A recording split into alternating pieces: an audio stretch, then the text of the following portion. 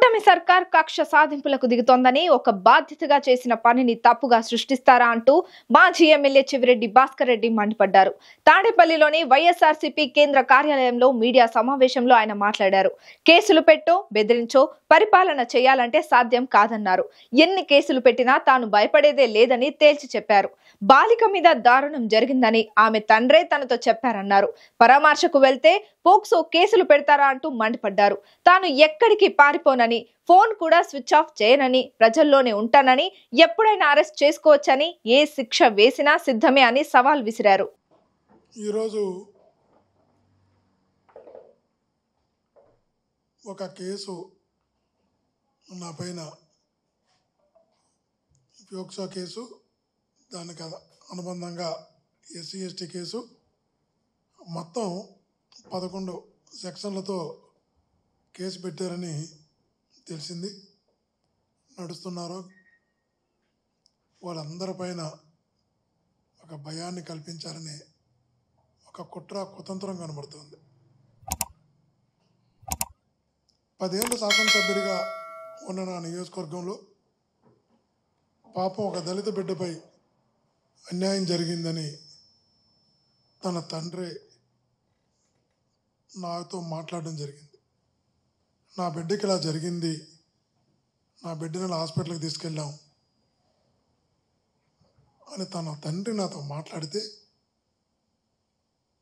పదేళ్ళు శాసనసభ్యుడిగా పనిచేసిన ఒక బాధ్యత గల వ్యక్తిగా ఎక్కడో ఎనభై కిలోమీటర్లో డెబ్బై ఎనభై కిలోమీటర్ల దూరంలో ఉన్న ఎలమంది అనే గ్రామానికి ఆ మేఘాల మీద వెళ్ళడం జరిగింది. డాక్టర్లతో మాట్లాడడం జరిగింది. అక్కడ చిన్న ఆసుపత్రి రాత్రుల్లో వైద్య నిపుణులు లేరంటే అక్కడ నుంచి తిరుపతికి తీసుకురావడం జరిగింది. తిరుపతికి తీసుకొచ్చి మెరుగైన వైద్యం అందించమని డాక్టర్లకు చెప్పడం జరిగింది వైద్యం అందించడానికి కృషి చేయడం జరిగింది. ఒక బాధ్యతగా చేసిన పని తప్పు కింద సృష్టిస్తారా?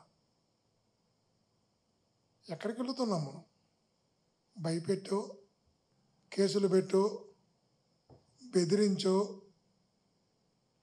మీరు లొంగ తీసుకొని పరిపాలన చేయాలంటే సాధ్యమవుతుందా?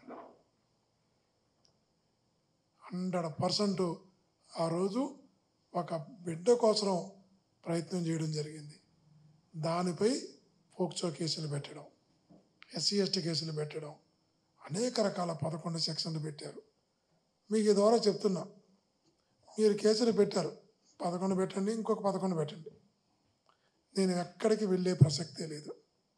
ప్రజల్లోనే ఉంటా ఇక్కడే ఉంటా. నిజంగా నేను ఏ పరిస్థితుల్లో కూడా తప్పు చేసే వ్యక్తిని కాదు తప్పుడు దారి ఎన్నుకునే వ్యక్తిని కాదు. ధైర్యంగా చెప్తున్నా.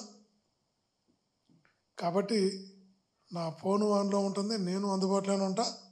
మీరు ఎప్పుడు అరెస్ట్ చేయాలన్నా చేసుకో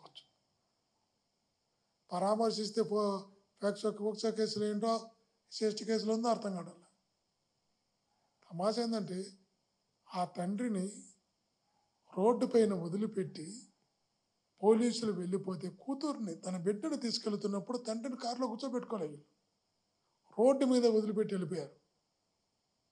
రోడ్డు మీద వదిలిపెట్టి వెళ్ళిపోతే నాగార్జున రెడ్డి అనేటువంటి ఆ మండల పార్టీ అధ్యక్షుడు తన కారులో తన తండ్రిని తీసి ఆ పాప బిడ్డ తండ్రిని తీసుకొని పీలేరుకి వెళ్ళారంటే పీలేరుకి వెళ్ళాడు రొంబచర్లకి వెళ్ళారంటే రొంబచర్లకి వెళ్ళారు ఆ నుంచి తిరుపతికి వెళ్ళారంటే తిరుపతికి వెళ్ళారు. తన తండ్రిని అడగని ఎవరు తీసుకొచ్చారు ఆసుపత్రికి? నాగార్జున రెడ్డి అనే వ్యక్తే తన తండ్రిని తన కారులో తీసుకొని తిరుపతి ఆసుపత్రి వరకు వచ్చాడు. కానీ అతని మీద కూడా కేసు పెట్టారు. అది ఎవరితో పెట్టించారు? తన తండ్రి చేత పెట్టించారు కేసు. ఎవరైతే తన బిడ్డ దగ్గరికి తన తండ్రిని చేర్చాడో అతని మీద కూడా కేసు పెట్టించారు. ఖచ్చితంగా చేస్తున్నటువంటి ఈ దుర్మార్గాలకు ఈ తప్పుడు కేసులకు ప్రజలు సమాధానం చెప్తారు. నేనైతే చెప్తున్నా పరామర్శకు వెళితే బిడ్డకు మెరుగైన వైద్యం అందించమని అడిగితే పోక్సో కేసులు పెట్టొచ్చు అని ఎస్సీ ఎస్టీ కేసులు పెట్టొచ్చని అనేక రకాలుగా సెక్షన్లు కలిపి పదకొండు సెక్షన్లతో కేసు పెట్టచ్చని ఈ భారతదేశ చరిత్రలో మొట్టమొదటిసారిగా నిరూపిస్తున్నారు. Okay good. గుడ్. సిద్ధంగా ఉన్నాం. ఏ శిక్షకైనా సిద్ధంగా ఉన్నాం. తప్పు చేయనప్పుడు భయపడవలసిన అవసరం లేదు. తప్పు చేసే మనస్తత్వం కాదు. కాబట్టి ఎక్కడ ఫోను ఆఫ్ చేసేది లేదు ఎక్కడికి వెళ్ళేది లేదు ప్రజల్లోనే ఉంటాం రెగ్యులర్ కార్యక్రమాలు ఉంటాం. ఖచ్చితంగా మీరు ఏ రకమైనటువంటి శిక్ష విధించాలనుకున్నా దాన్ని భరించడానికి ఎదుర్కోవడానికి సంసిద్ధులై ఉన్నామని తెలియజేస్తున్నాం.